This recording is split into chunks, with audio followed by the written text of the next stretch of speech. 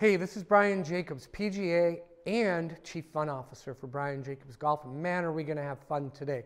So I've got a little seven iron in my hand and I've got an impact bag. Most of you have seen these before.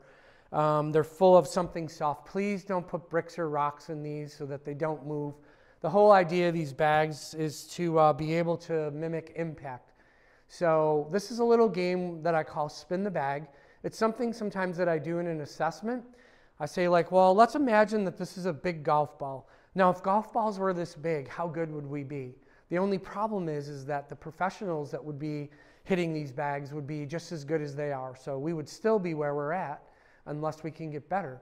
So if I take my seven iron and I swing back and I spin the bag that way, all of us should be going slice, the ball's going the opposite way.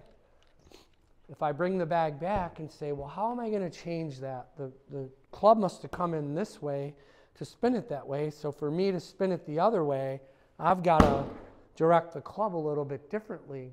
So this is helping you understand curve of the golf ball, your path, and also the relationship of the face to the path of the club. So these impact bags are really awesome for uh, training. And so what I would have you do is I would maybe have you do something called a sandwich drill where I would hit two from the inside into out. I would have you hit one the opposite way and then two more from the inside and start to train that pattern of, of creating a hook or, or curve from right to left on the golf ball for a right hander. So if you need more help, visit brianjacobsgolf.com. I would sign up for a new student assessment.